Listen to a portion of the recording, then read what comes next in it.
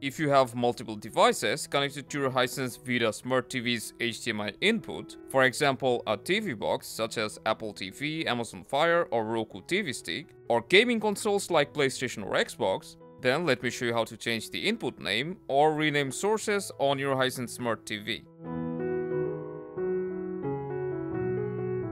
First you need to open Input. You can either do it from the home screen by selecting the input icon, or you can just press the input button on your remote.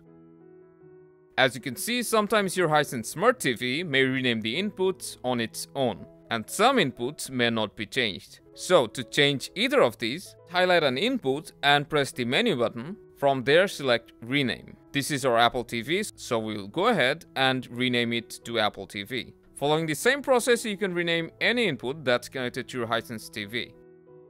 So that's how simply you can rename the label of input sources on your Hisense Vidaa Smart TV. Hope you found this helpful and I'll see you around.